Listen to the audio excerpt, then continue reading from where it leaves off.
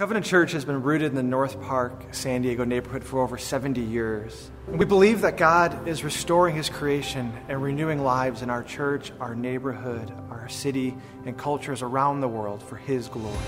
My name is Patrick, and I'm the lead pastor here, and I'd personally love to invite you to join us Sunday, 10 a.m. in North Park at the corner of Howard and 30th. Thanks.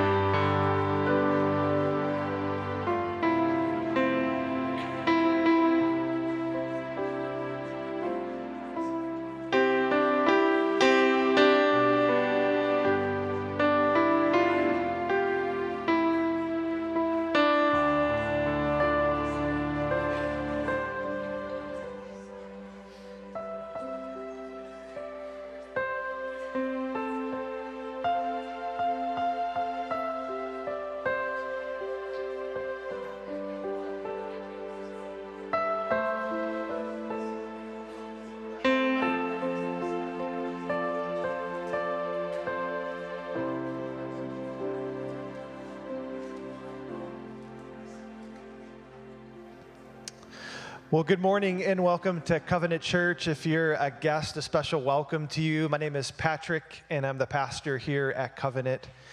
You know, we believe that God is three in one. He's Father, Son, and Holy Spirit. There's unity in the diversity. And it's the same with us. We gather from different ages and different neighborhoods, different vocations and, and backgrounds. There's a diversity, and yet there's a unity and that we're called here by God the Father and redeemed by the Son.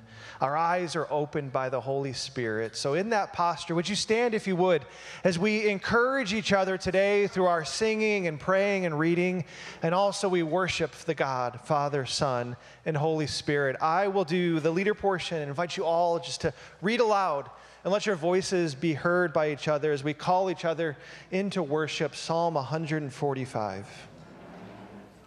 I will exalt you, my God the King. I will praise your name forever and ever. Every day I will praise you and extol your name forever and ever. All your works praise you, Lord. Your faithful people extol you. They tell of the glory of your kingdom and speak of your might, so that all people may know of your mighty acts and the glorious splendor of your kingdom. Father, we praise you this morning. All your works, they praise you. All of creation praises you today. A thousand tongues, times a thousand tongues, times a thousand tongues declare your glory. And so do we. And we pray all this in the strong name of Christ. Amen.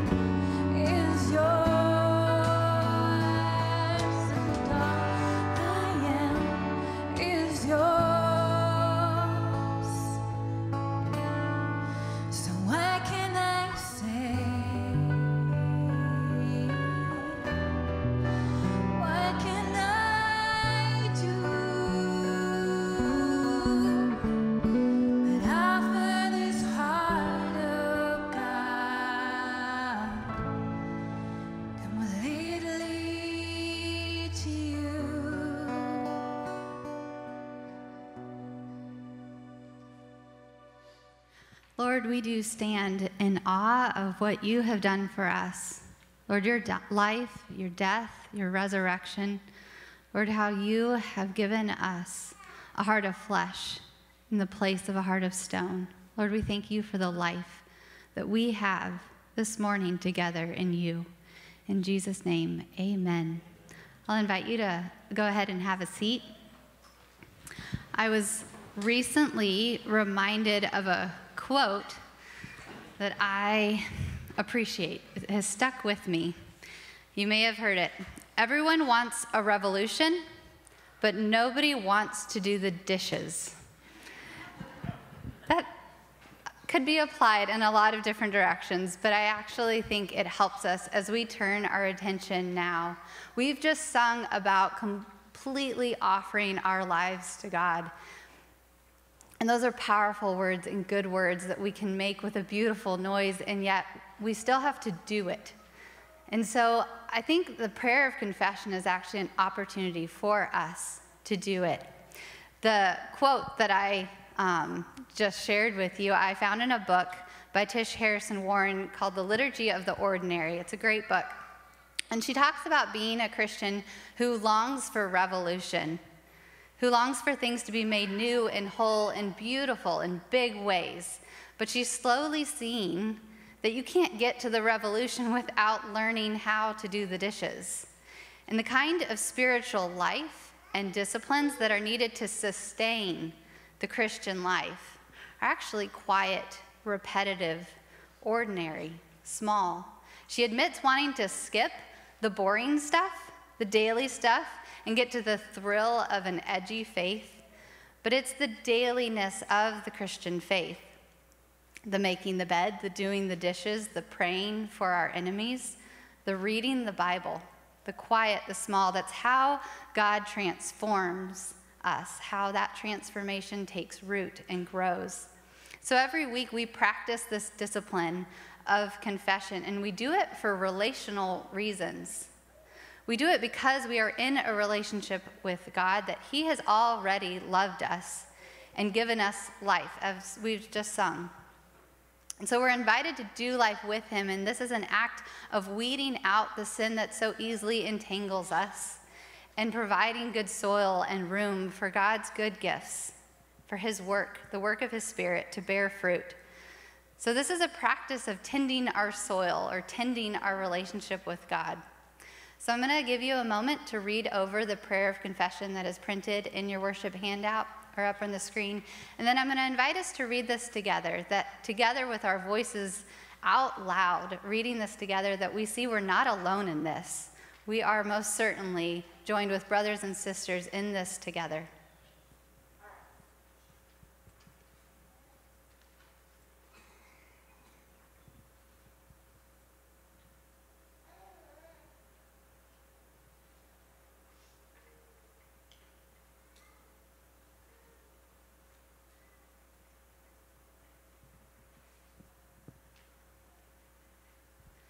Please pray with me. God of grace, you love us, but we have not loved you. You call, but we have not listened. We walk away from neighbors in need, wrapped up in our own concerns. By our actions and our attitudes, we praise what you condemn. Help us to admit our sin, so that as you come to us in mercy, we may repent, turn to you, and receive forgiveness through Jesus Christ, our Redeemer. Amen. Take a moment now to just spend in prayer before the Lord, thinking on this prayer of confession, thinking on what Christ has done for us.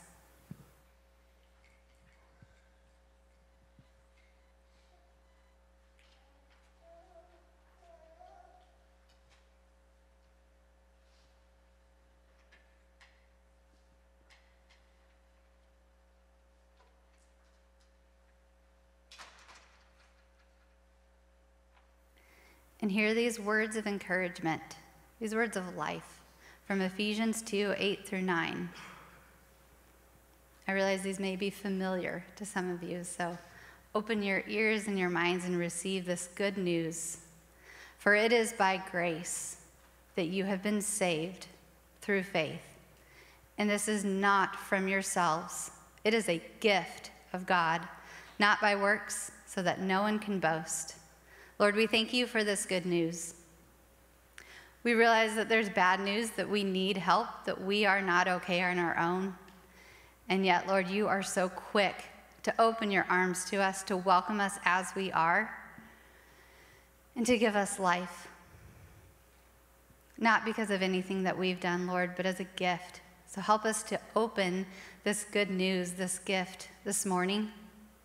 Pray that we would be encouraged right now, Lord, that you would fill us with your spirit, that you would give us courage and hope and peace, knowing that we are your sons and daughters, adopted and chosen and dearly loved. In Jesus' name, amen.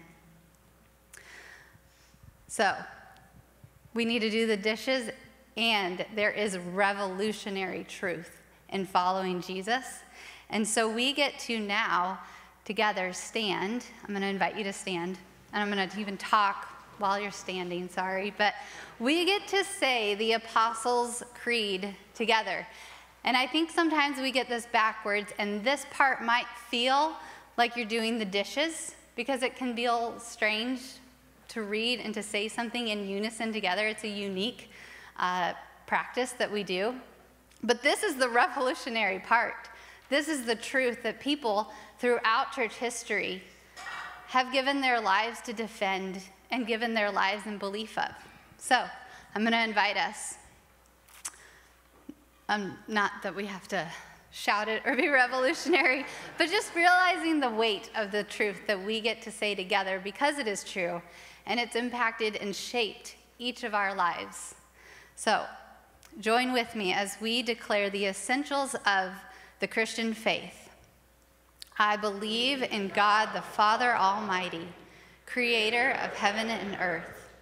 I believe in Jesus Christ, his only Son, our Lord, who was conceived by the Holy Spirit and born of the Virgin Mary.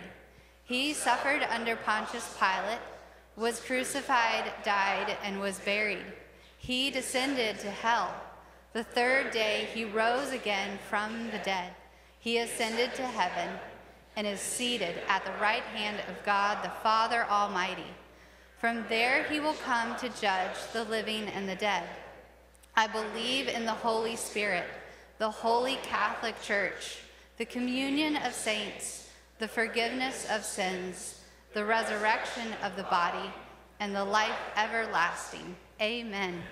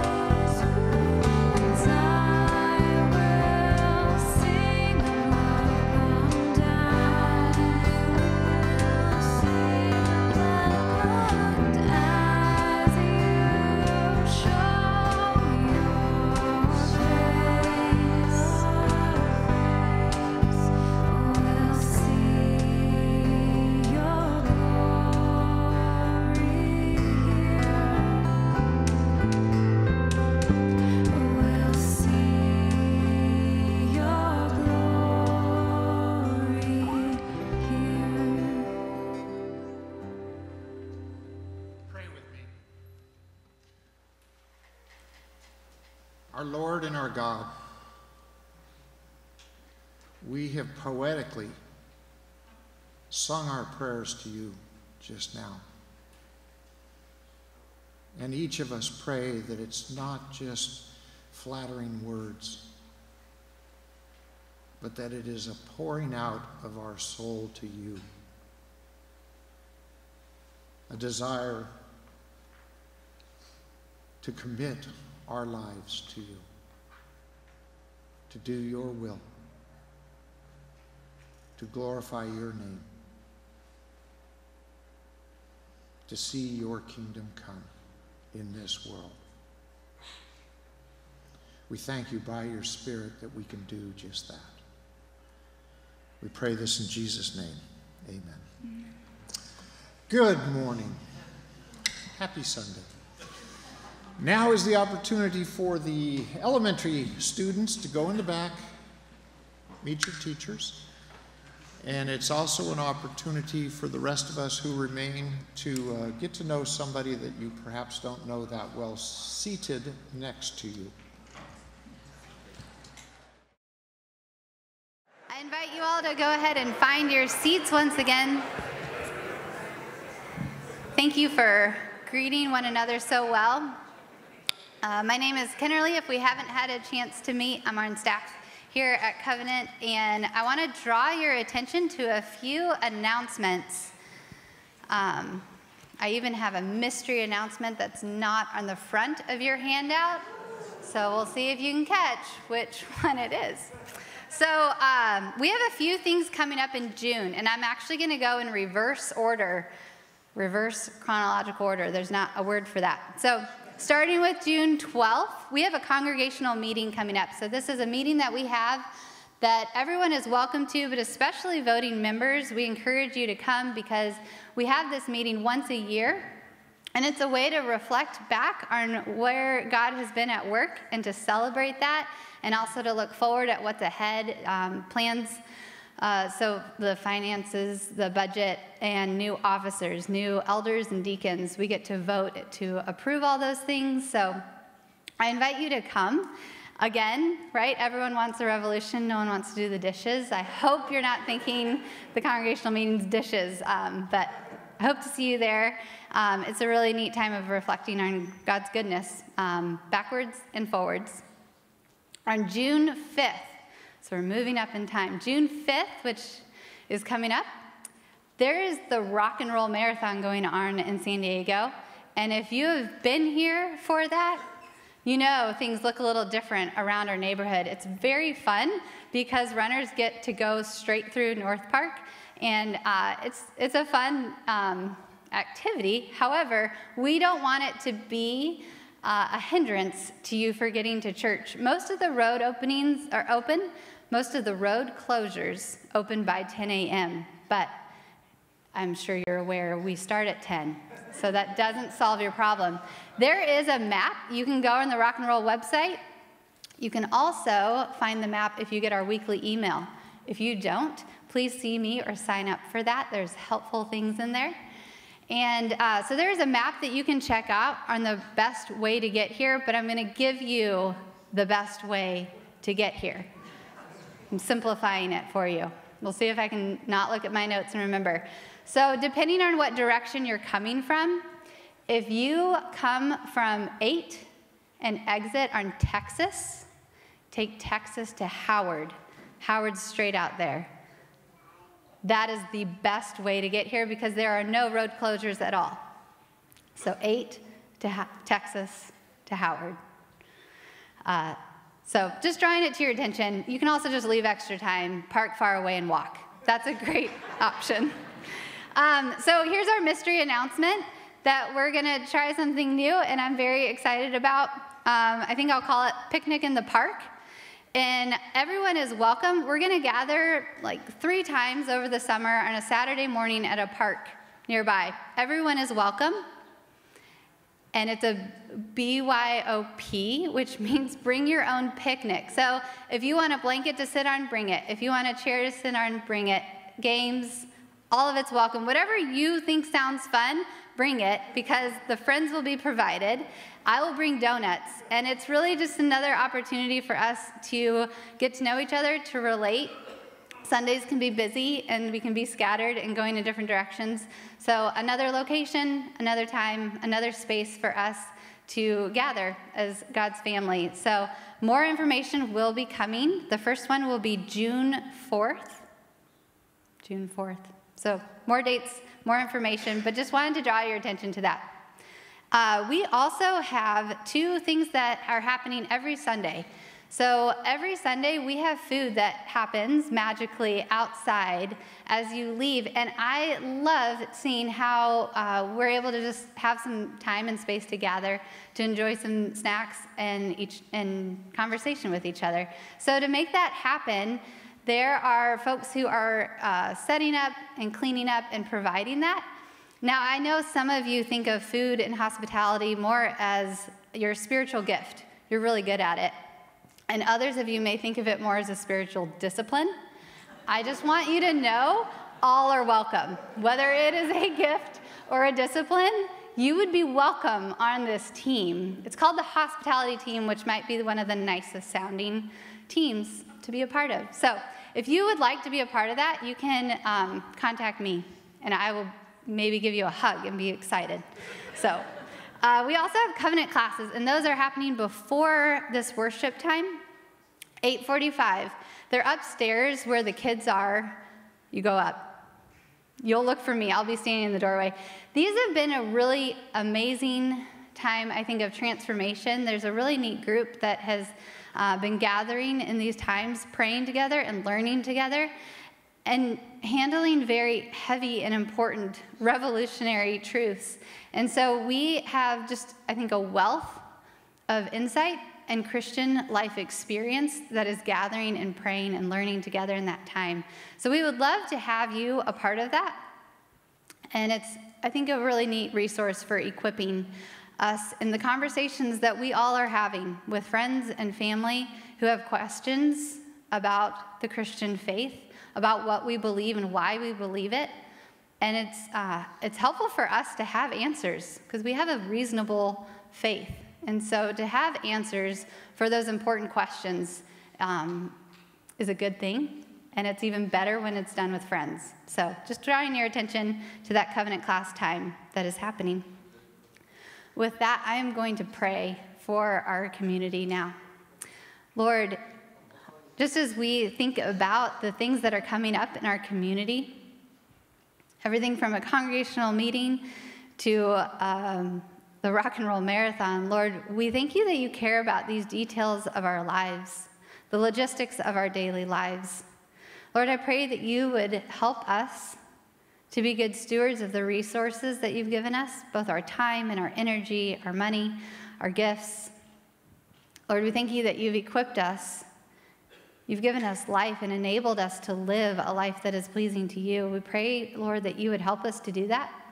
We pray that for ourselves as a church community, that we would be a church that bears your light and shines brightly your truth and your love in our neighborhood. And we pray that for us as individuals, as we go out into our various fields and areas of responsibility, Lord, I pray that we would be faithful in the small and the daily tasks. Lord, that we would see your goodness and celebrate, Lord, the truth and the reality of being your children. So we thank you, Lord, for the reason that we gather this morning and also the reason that we scatter then throughout this week, Lord, of being united together with brothers and sisters as your church. We thank you for this new family. And we pray, Lord, now that you would prepare our hearts and minds for hearing your word, both read and proclaimed. Lord, we thank you that you have spoken. You spoke creation into existence, and you speak this morning to us through your word. I pray for Kevin as he preaches, pray for Julie as she reads. Lord, help us to receive, to listen, and to do. In Jesus' name, amen. I am going to invite Julie up now for our scripture reading.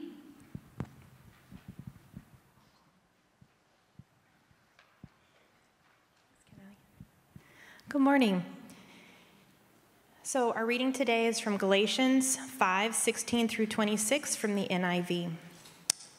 So I say, walk by the Spirit, and you will not gratify the desires of the flesh. For the flesh desires what is contrary to the Spirit, and the Spirit what is contrary to the flesh. They are in conflict with each other, so that you are not to do whatever you want. But if you are led by the Spirit, you are not under the law. The acts of the flesh are obvious sexual immorality, impurity and debauchery, idolatry and witchcraft, hatred, discord, jealousy, fits of rage, selfish ambition, dissensions, factions, and envy, drunkenness, orgies, and the like. I warn you, as I did before, that those who live like this will not inherit the kingdom of God. But the fruit of the Spirit is love, joy, peace, forbearance, kindness, goodness, faithfulness, gentleness, and self control. Against such things there is no law. Those who belong to Christ Jesus have crucified the flesh with its passions and desires. Since we live by the Spirit, let us keep in step with the Spirit. Let us not become conceited, provoking and envying each other. This is the word of the Lord. Thanks be to God.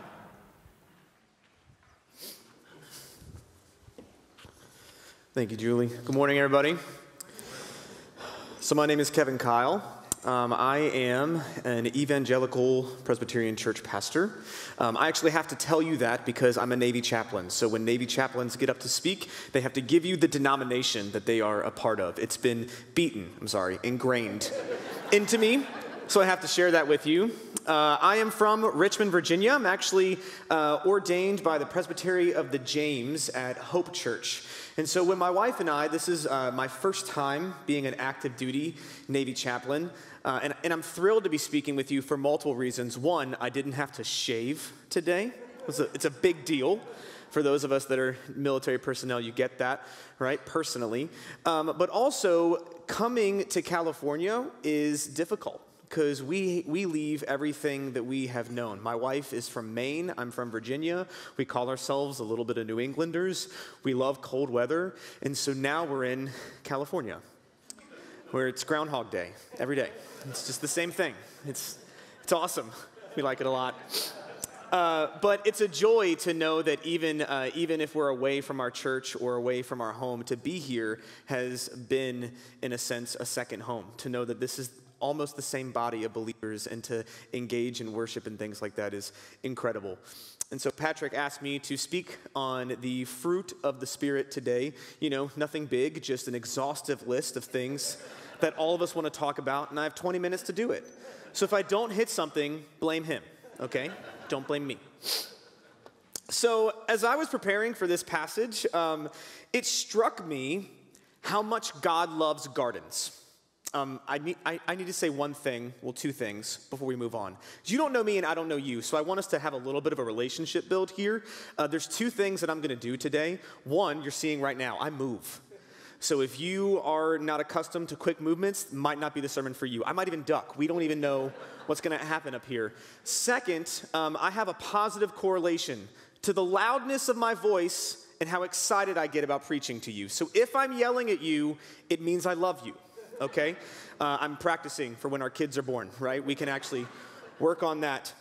But it struck me how much God loves gardens. The garden imagery is everywhere in Scripture.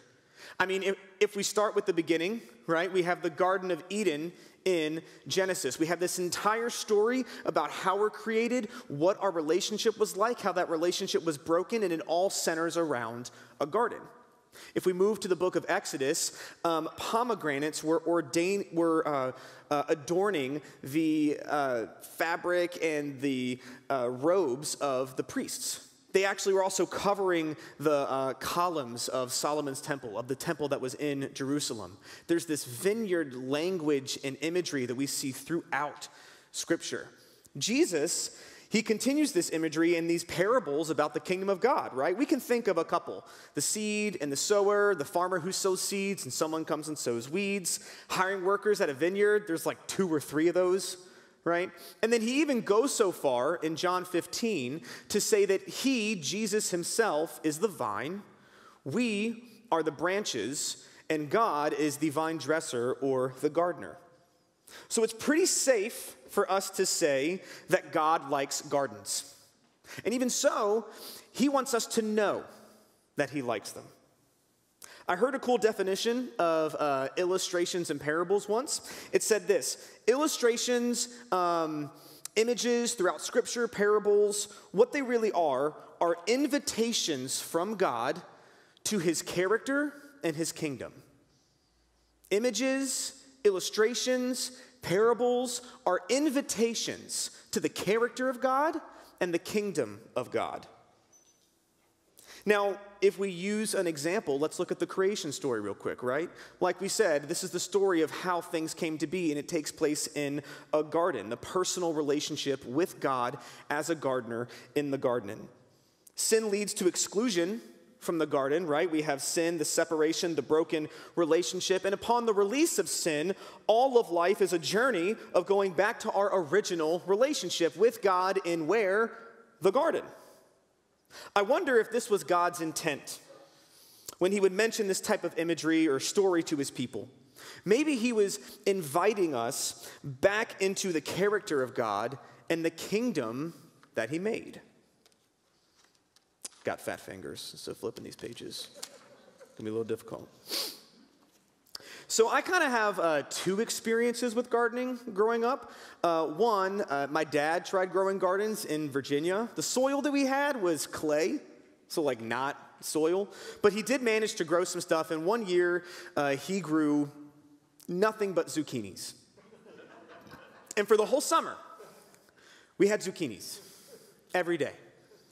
Um, the last time that I had a zucchini was yesterday by accident. Because if I knew that it was a zucchini, I was not gonna have that zucchini from the PTSD of the summer of zucchinis, the zucchini summer in my high school year.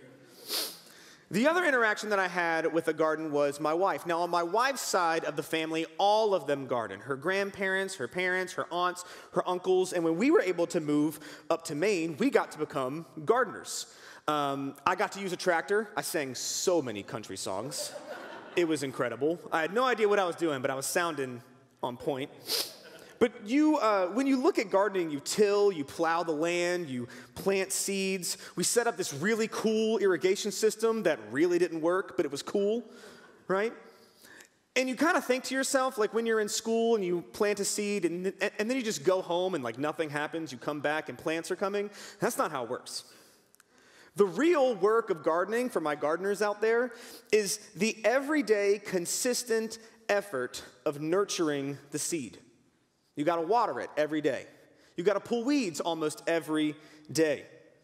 There's this thing in Maine, I don't know if we have it in California yet. It's called frost, you know? And sometimes the temperature will be so cold that the morning dew will frost and it'll choke out the plant. So at 11 o'clock at night, here I am in my jammy jams, right? Going in this garden with all of my mason jars and Tupperware containers, covering the plants so they don't get frost and they don't die. Fending off predators. Took a lot of teamwork. We couldn't do this ourselves, right? And I kept asking myself, like, was it worth it? Well, when I had that watermelon, yes. Yes, it was worth it. As we look at this passage today, we're not going to dig into what these individual fruits are. Like I told you, I've only got 20 minutes, okay? And I know I'm going to go over it. But in all reality, there isn't, there isn't some spiritual definition or nuance about joy, love, peace, patience that I could give you that would somehow radically change your life. And to be blunt, that's not the point of this passage. The fruits of the Spirit aren't really what we need to be focusing on. What I want to leave us with today, and what I think God wants us to see about the Holy Spirit, is His invitation to nurture what has been planted. See, this passage actually has little to do with the fruits and more to do about where they're from. It's an invitation into the character of God and the kingdom of God. So let's dig into it a little bit. If you're a Bible opening person, you can open it up to Galatians chapter 5. Uh, I think we might even have it on here. If we don't, then that was my failure, not them. Okay, don't blame them for that. But I'm going to read just a little bit of this. You uh, have it in your, in your uh, handout as well. Before we start, a little bit of background. So we're in Galatians, and there's a problem going on in the churches in Galatia. Specifically, it's a problem between Jewish Christians and non Jewish Christians. Now, uh, when I say that, what I mean is people that converted to Christianity that were ethnically um, Jewish, and then people that weren't, Gentiles, right? Uh, and so, what was happening were the Jewish Christians were trying to enforce um, traditional Jewish rabbinical laws that did not apply in terms of the gospel. Things like circumcision, other things like that, um, certain foods that you should eat, certain rituals that you should practice, and it was causing this intense division in the churches throughout Galatia. Now, Paul hears about this and uh, he gets fired up. And he writes this letter uh, basically condemning that and uh, making sure there's an understanding of what it is that really makes us clean. What is it that really brings us into a holy relationship with God? And here, Paul is talking about sanctification. Simply defined, sanctification is the process by which we are made holy.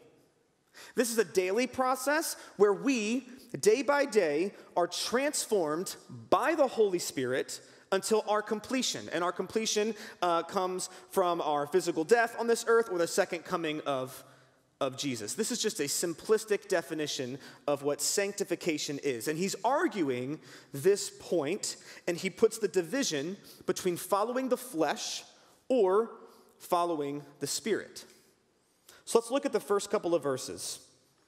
Paul says this So I say, walk by the Spirit, and you will not gratify the desires of the flesh.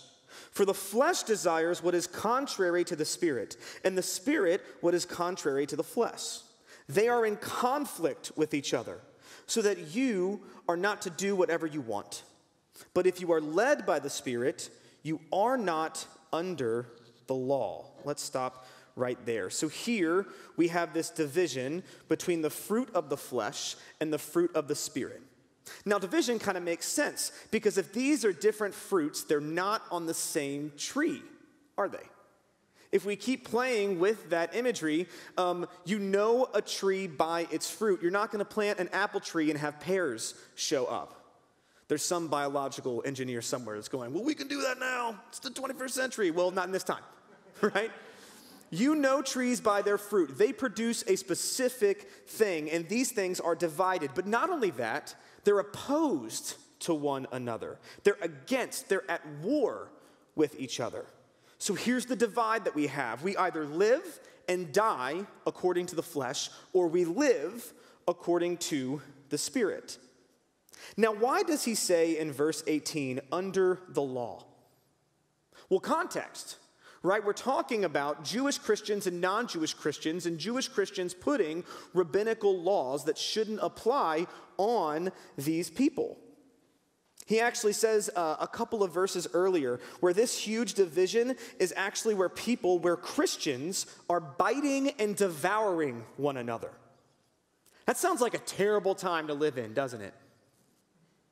Where uh, Christians are dividing themselves because of certain practices that they believe is important that the other one doesn't seem to follow. That doesn't sound like today at all, does it? Kevin, that's a sermon for another time. Okay, we're going to just leave that there and go past that. But seriously, I mean, why does, why does he say not being under the law? You don't have to turn with me, I'm going to read this here for you. But if we go to some of Paul's other writings in Romans chapter 8, he's explaining this process in terms of what the law does and how it applies to the flesh. He says this in Romans 8, starting at verse 3 For God has done what the law, weakened by the flesh, could not do, by sending his own Son in the likeness of sinful flesh, and for sin, he condemned sin in the flesh in order that the righteous requirement of the law might be fulfilled in us who walk not according to the flesh, but according to the Spirit. So there's this common uh, phrase in Paul's vernacular the law makes us aware of sin, and we are powerless to fulfill it. He makes connections in trying to live by the law. Here's a little, here's a little graphic. The law equals flesh, which equals sin, which equals death. This is kind of the imagery that Paul is trying to get us to see. The law equals sin, equals flesh, equals death. And what he's saying was that was complete. That was complete by the death and the resurrection of Jesus Christ. So you are, in all reality, church, trying to accomplish what has already been given to you by the death and resurrection of Jesus Christ. He even goes so far to say that Abraham was justified by faith, not by the law. When Abraham was walking around and walking in righteousness with God, the law didn't exist, it wasn't written down. Moses hadn't been born yet. None of that stuff had happened. So, how could he be righteous apart from the law? Well, because faith is what makes you righteous, not the law. There's so much in there, and I would encourage you to read it because I've only got 20 minutes. That's my last joke on that one. Okay, Patrick, I promise. So, the point so far we've got the flesh and we've got the spirit. They're opposed to one another, and we have to choose one. And then we get these lists. We look at verse 19 and we see the acts of the flesh, 22, the fruit of the spirit. What I really love is he gives these exhaustive lists. And in verse 21, um, I just love the and the like. You know, he's kind of putting like an etc. You know what I'm talking about. These are the things, right? And then he hits the division home a little bit more where he says, If you are led by the Spirit, you are not under the law. Sorry, that's verse 19. Uh, those who live like this, verse 21, will not inherit the kingdom of God. Why are these bad? If you look at these things right here, what is it about them that causes them to be living in the flesh that leads to death? This may sound simple, but sometimes simple doesn't mean shallow. Simple can actually mean really deep. These are bad because they're sin. If we go back to some of those things that we learned, right? The law equals flesh equals sin equal death. We have said that the flesh and the spirit are in opposition. And if these are fruits of the flesh, then they are in opposition to the kingdom of God. Of course, they wouldn't enter the kingdom of God. And sometimes, sometimes I really forget what sin is. I mean, there's so many definitions of it, right? We can hear things like, well, sin are kind of mistakes that you make, but is that really true? Because mistakes can be covered by grace. I don't really get that. Uh, maybe for some of us, we've heard that the actual like word of sin is an archery term, like you're aiming for the target, but you sin, meaning you miss the mark. And that could make sense a little bit too. But what we know from, script, from Scripture is that sin is a broken relationship with God. But this relationship is vital to our being because we are made with His very breath. And God tells us in Genesis if you sin, you will die. The wages of sin is death. God is not telling us that, these, that, that this list, that these are sins because we're uh, not obeying Him like some shallow, conceited ruler. He's telling us that these things will kill us they lead to death. And not only that, but eternal death. Sometimes we forget how deep that can really be. And you can actually see, if you look at these two lists, a little bit of the opposition in there, right? If we're looking at the fruits of the Spirit love, joy, peace, Forbearance, which I kind of like more than patience because patience sometimes sounds like just sitting there doing nothing. Forbearance means you've got some wrath, but you're not going to give it. I feel like for any parents in the room or people that work with unruly people, which I'm an unruly person, so anyone who works with me, you're like, oh gosh, you know? That's kind of what forbearance is. That's a fruit of the Spirit. The Spirit is holding you back, right? Awesome. But when you look at some of these things, what are the opposites? What are the things that seem to be opposed to that?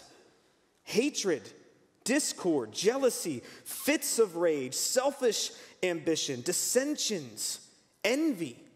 It kind of makes sense how these things are opposed to one another. But as we look through all these lists, the, the, the thing that keeps striking me is what do we do with this though? I mean, in all reality, I can kind of see both of these fruits in my life.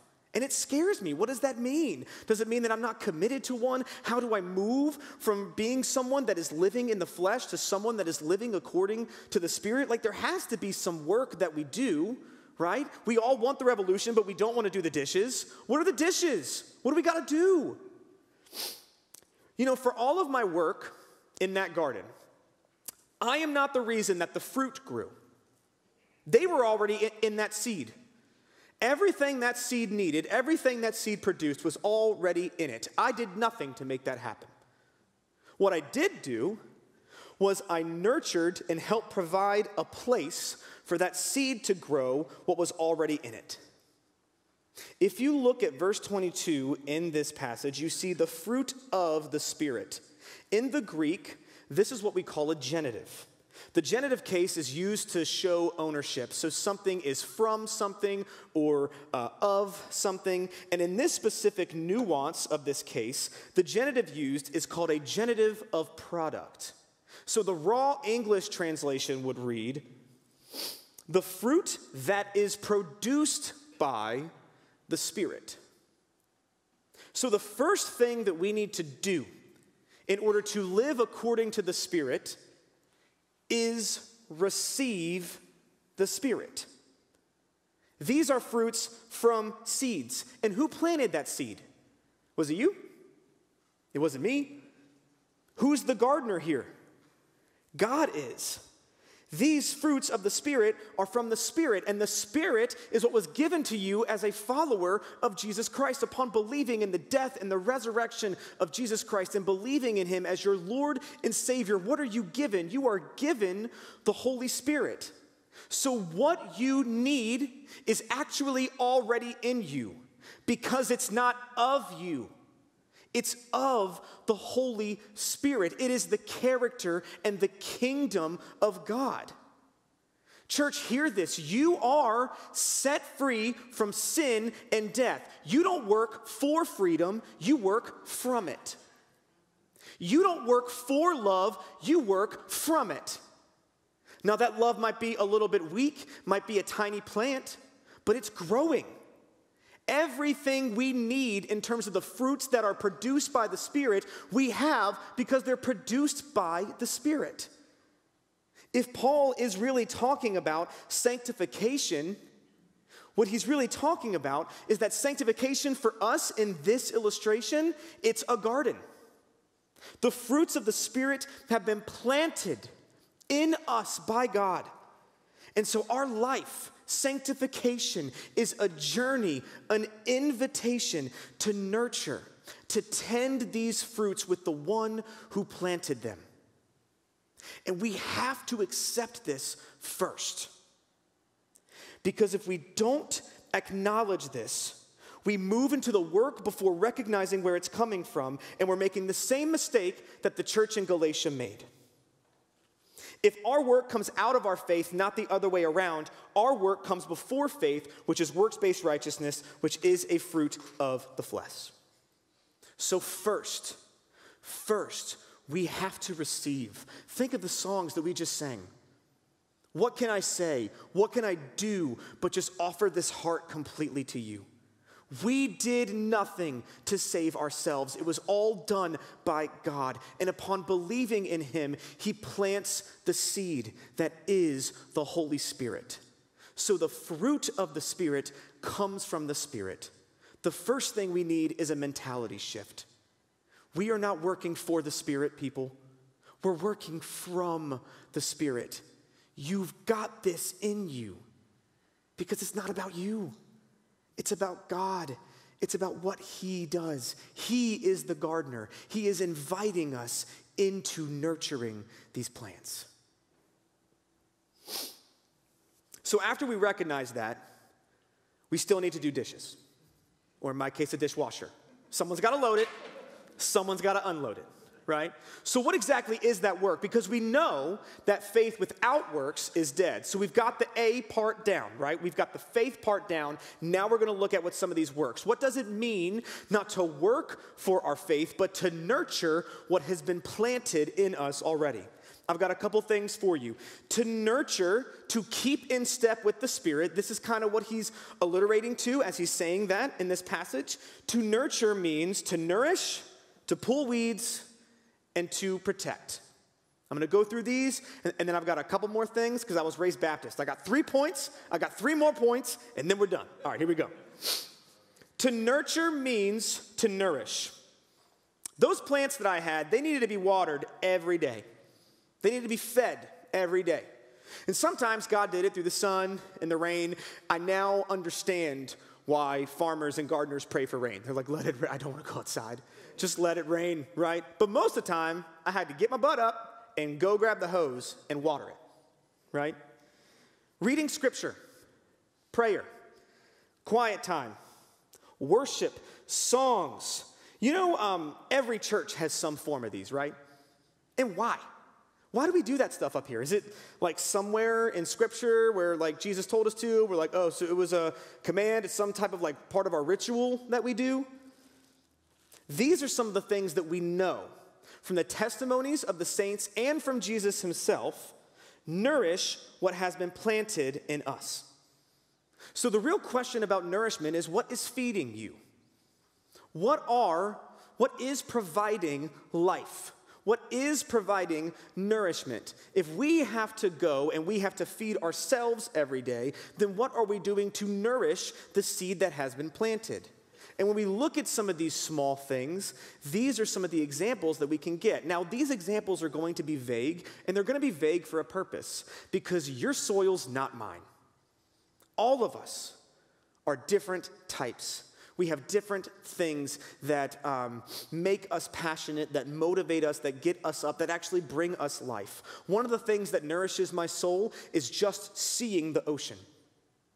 And I have to purposely put that in my, in my day so I can go look at it. Because for some reason, that tide takes my stress away. I don't know what it is, it's just the way God made me. So I'm not going to tell you to do that because that's me.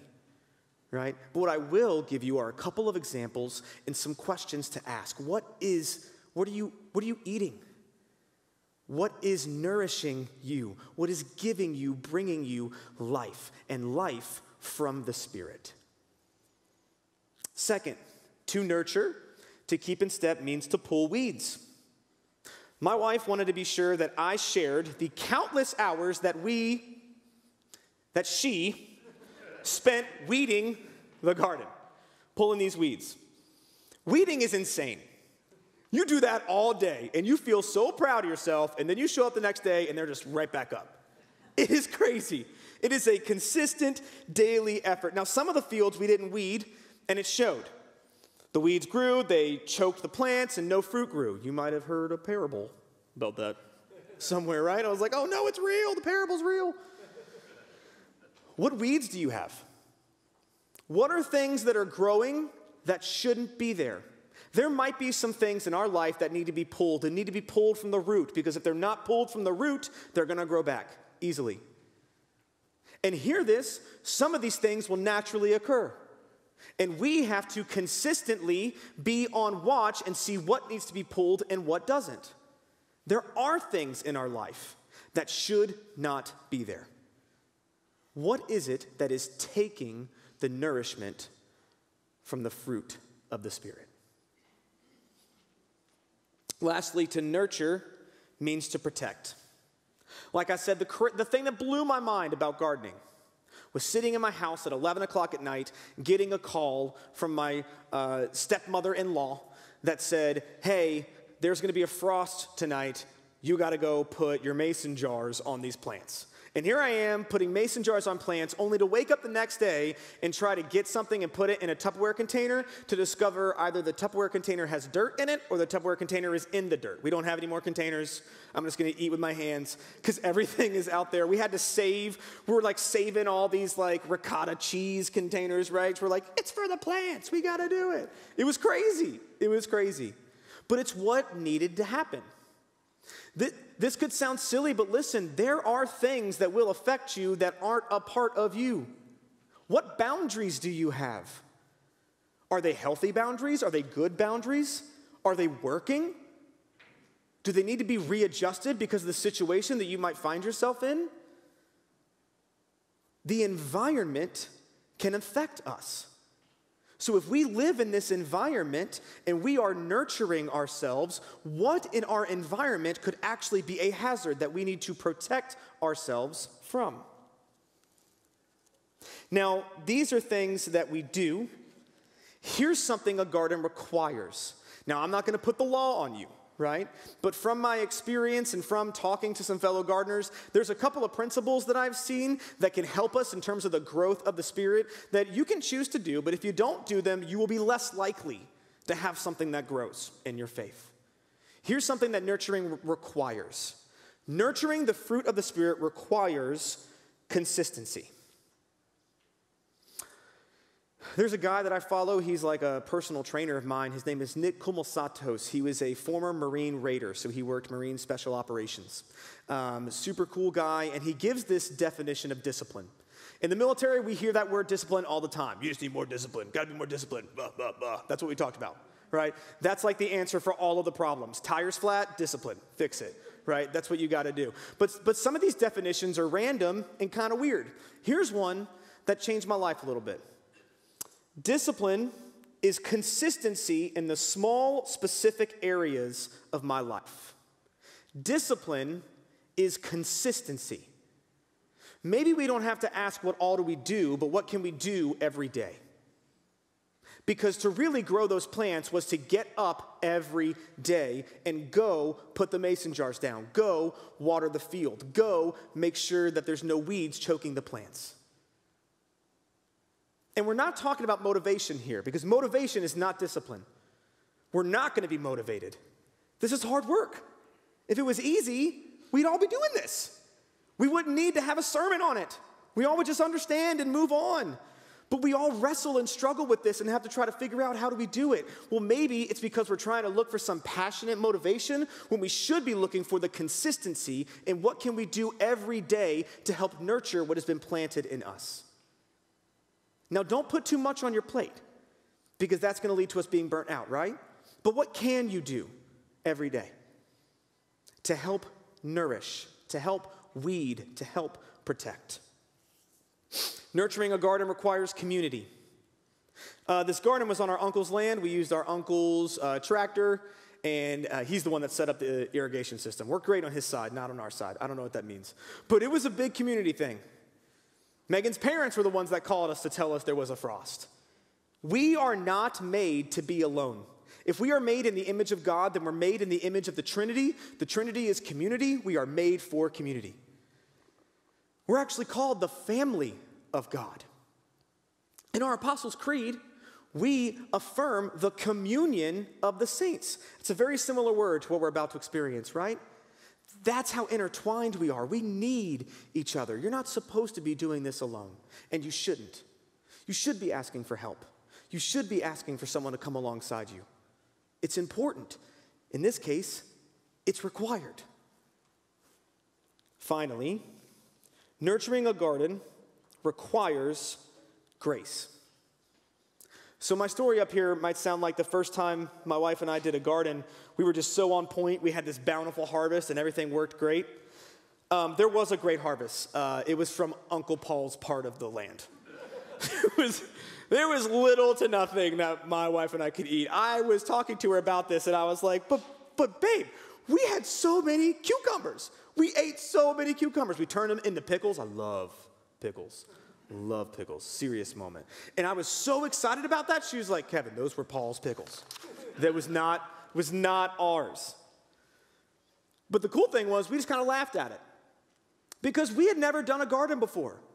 Why did we think that we would do well? If you've never done this before, why do you think you're going to be good at it? Of course, you're not going to be good at it. Guys, life happens. Most of these things are beyond our control. We can nurture as good as we want, but some of the seeds just didn't grow. Sometimes it might not even be the season for bearing fruit. Or we might grow something, realize we don't want to grow that. Stuff happens. God is not asking us to get it right every time. He just asks us to stay with Him, to keep in step, to learn and grow. Because that's actually part of the whole process of sanctification. These seeds are produced by the Spirit. What you need for love, joy, peace, patience, kindness, goodness, gentleness, faithfulness, and self control is already in you because Christ is in you. Live from that, not for that.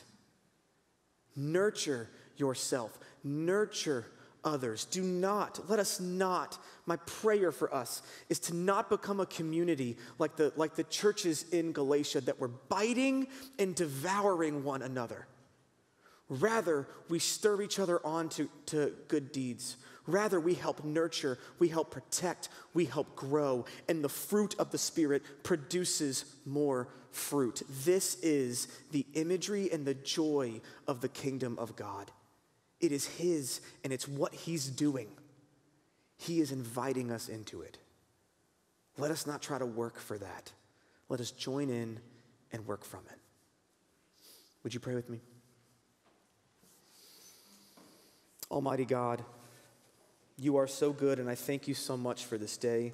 I thank you for the opportunity for us to be here and hear your word. Jesus Christ, you are the reason why we can say that we are a child of God. You are the one who has fulfilled us, who has saved us, who has made things right. And you promise that this is the work that you start, and you will bring it to completion. May our faith be in that and not ourselves. We work with you, God, not for you. Thank you, Jesus. It's in your name we pray. Amen. Amen. Amen. Thank you, Kevin. You know, that idea of, of nurturing the soil and consistency and community and grace, it's found at the table. That every week we come to the table and we have this physical, tangible experience where we are holding the elements and engaging all our senses, consistently reminding ourselves as a community of God's grace. So as we take and we eat and we pray over these elements, this is one of those things where we, we till the soil, we pull the weeds, we protect ourselves, we immerse ourselves in the grace of Christ. It was on the night that Jesus was betrayed. He took bread and gave thanks and he broke it. And he gave it to his disciples and said, This is my body, which is for you. Eat this in remembrance of me. And after the supper, he took the cup. It was the cup of the new covenant in his blood, shed for many for the forgiveness of sins. Drink this in remembrance of me. And whenever we drink from the cup and we eat from the bread, we proclaim Jesus' death. We proclaim that Jesus has ascended. We proclaim that the Holy Spirit has come to us and is in us. And as Kevin has reminded us, the seed is in us. The fruit of the Spirit is in us. Thanks be to God. And now we get to participate until that soil, until He returns. So, Father, thank you for the bread. Thank you for the cup.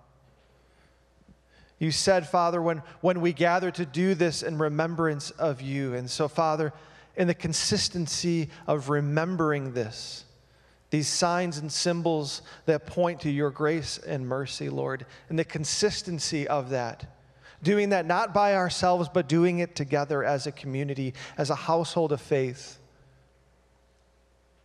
resting on your grace. Lord, would you even now? Lord, be growing seeds, pulling weeds, protecting us.